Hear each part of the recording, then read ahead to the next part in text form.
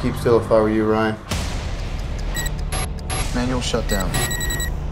Two, one. The crazy thing is happening to me. I wake up and I don't know how I got there. Another transmission failure, huh? Dr. Langham, I understand you have been experimenting in the use of bioware technology. Your name is Ryan Reeve.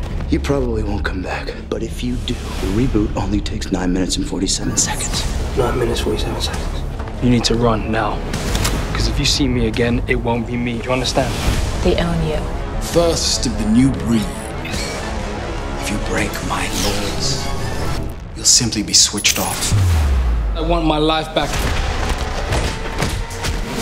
So who are you? I don't know.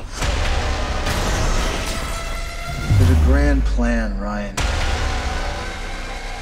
Why are you fighting it? Who are you? You're the one controlling me. This thing that they've done to me, they're gonna do it to everyone. You know how you control the masses. Fear. I know what I need to do. You may not understand this, but our ambitions are a little wider.